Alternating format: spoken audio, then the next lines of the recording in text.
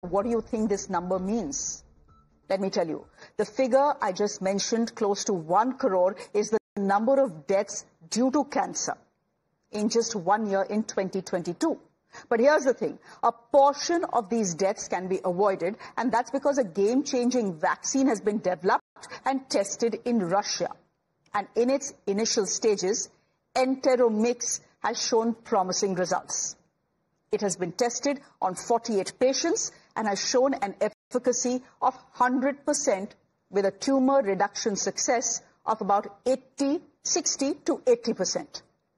The side effects so far, you ask? So far, zero.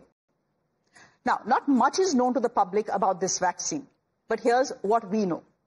So far, three years of research have been completed, which includes pre-clinical trials as well.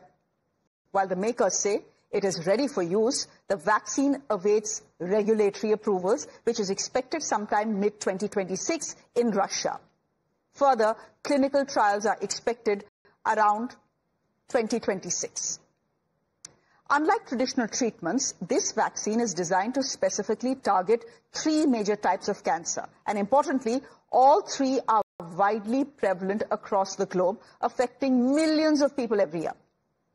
When it comes to colorectal cancer, around 19 lakh cases are reported around the world, and this accounts for 9 to 10% of all new cases. 30 lakh cases have been projected annually by 2014. When it comes to another type of cancer, there are currently about 1.4 lakh cases every year and accounts for 40% of brain tumor cases every year. When it comes to skin cancer, the world sees 3.3 lakh cases a year. All of this could possibly be curbed should the vaccine come into public use and come very soon. Now, one important detail, especially for those not blessed with wealth, but unfortunately cursed with cancer, how much will the vaccine cost? Well, again, no official word from the Russians on that, but unconfirmed numbers are already making the rounds, and it is expected to cost 3 lakh rubles, which is about 2.52 lakh Indian rupees. It is important to understand the difference between the cancer vaccine and other methods that are currently in use to help cure cancer.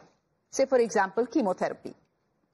Chemotherapy attacks cancer and healthy cells. One size fits most for all cancer drugs, circulate throughout the body. So you have hair loss, you have nausea, you have low immunity.